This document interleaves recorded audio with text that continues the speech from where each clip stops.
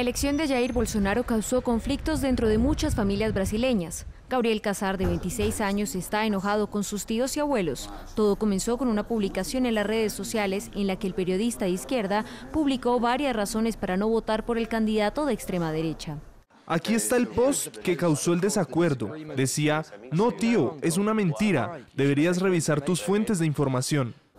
Gabriel proviene de una familia militar de clase media. Su abuela estaba tan enojada que dejó de pagar por su seguro de salud. No esperaba este tipo de vergüenza.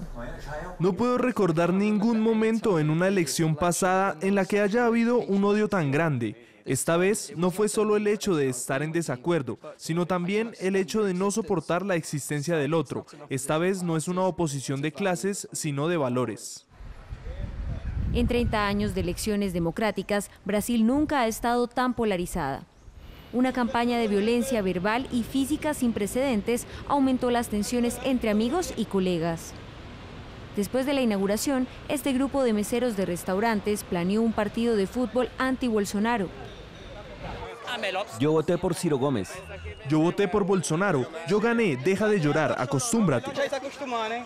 Las recientes acusaciones de corrupción contra Bolsonaro, quien prometió un gobierno limpio, han cambiado el tono de las discusiones. Gana 8 mil euros al mes y tiene más de 25 millones en su cuenta. Me gustaría saber cómo lo justifica. ¿Quién? Bolsonaro. Bolsonaro se benefició de la división social en la campaña. El debate se vio impulsado por anuncios políticos y noticias falsas. Estos amigos incluso dejaron de hablar. Discutimos mucho durante la campaña, es como el fútbol, peleamos en el campo, pero una vez que terminamos todos somos amigos y vamos a hacer un asado.